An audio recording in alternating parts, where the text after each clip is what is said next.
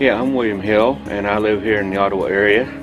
And I've been with Triad Leasings for over 25 years.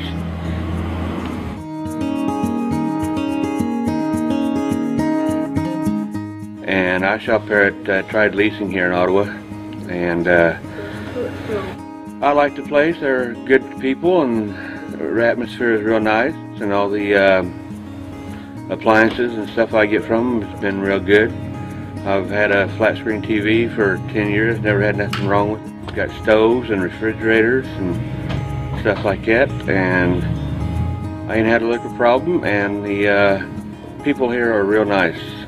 From day one when I came in here, I was about the second or third person in the door when they opened up, and I've been back ever since.